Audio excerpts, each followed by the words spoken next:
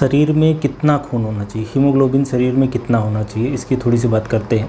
आप शरीर में खून की बात करें तो एक नॉर्मल रेंज में रहे तो अच्छा है। अगर कम हो जाए तो भी खतरनाक है जिसको हम लोग एनीमिया बोलते हैं। और अगर ज़्यादा हो जाए जिसको पोलिसाइथीमिया बोलते हैं वो भी खतरनाक कंडीशन है। तो चाहे खून की अधिकता हो जाए चाहे कमी है दोनों ही नुकसानदेह है। एक चीज़ आप ये समझें कि जो खून की नॉर्मल वैल्यू है वो एज पे डिपेंड करती है कि उम्र कितनी है और जेंडर पे डिपेंड करती है कि मेल है कि फीमेल है। तो नॉर्मल अगर पुरुष की बात करें एडल्ट पुरुष की बात करें तो हीमोग्लोबिन 14 से लेके 18 ग्राम पर डेसीलीटर के बीच में होना चाहिए। मतलब 14 से 18 पॉइंट के बीच में होना चाहिए, जैसे आम बोलचाल की भाषा हम लोग बोलते हैं तो 14 से 18 पुरुष के लिए ठीक है। तेरह तक कंसीडर कर सकते हैं कि नॉर्मल है। तेरह से अठारह कंसीडर कर सकते हैं। ऐसे ही अगर फीमेल की बात करें, जो एडल्ट फीमेल है, उनकी बात करें तो बारह से सोलह ग्राम पर डेसी हो जाए। मतलब कि फ़ीमेल में थोड़ा सा कम रहता है मेल के मुकाबले। और अगर दूसरी अवस्थाओं की बात करें, जैसे कि जब छोटा बच्चा होता है, पैदा होता है, उस समय उसका हीमोग्लोबिन काफ़ी ज़्यादा होता है। तो मैं एक चार्ट आपको दिखाता हूँ। तो सबसे पहले आप जैसे देखें कि न्यू बॉर्न है, छोटा बच्चा है तो एक हफ़्ते के अंदर उसका जो हीमोग्लोबिन है, वो 17 से 22 ग्राम पर डेसीलीटर होता है। मतलब काफ़ी ज़्यादा रहता है। शुरुआत के वीक में फिर वो धीरे धीरे कम होता रहता है। तो जैसे कोई बच्चा पैदा हुआ है तो अगर उसका हीमोग्लोबिन बीस, इक्कीस, बाईस है तो कोई ये परेशानी की बात नहीं है। और वीक वन में फ़र्स्ट वीक में जो उसका हीमोग्लोबिन है वो पंद्रह से बीस के बीच में रहेगा।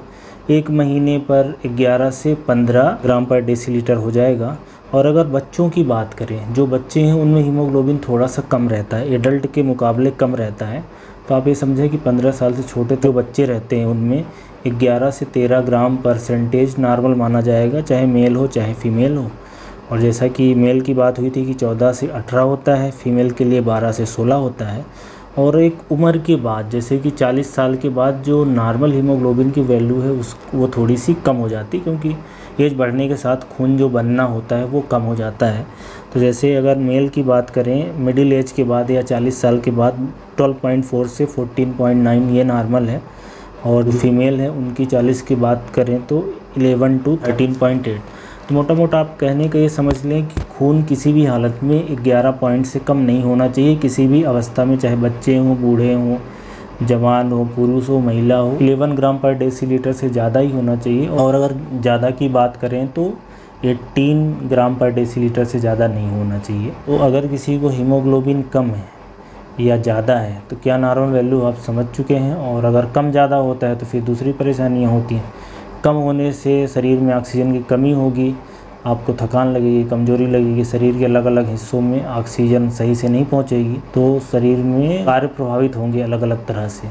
और अगर इसकी अधिकता हो जाती है तो शरीर के अंदर थक्का बनने की समस्या हो सकती है, जिसमें ब्लॉकेज हो सकता है आर्टरीज में तो उससे हार्ट अटैक होने की समस्या है या ब्रेन के अंदर स्ट्रोक होने की समस्या है, ब्लड प्रेशर बढ़ जाने की समस्या है तो इस तरह की दिक्कतें हो सकती हैं। तो ये नॉर्मल हीमोग्लोबिन किस रेंज में होना चाहिए, उसके बारे में जानकारी थी। धन्यवाद।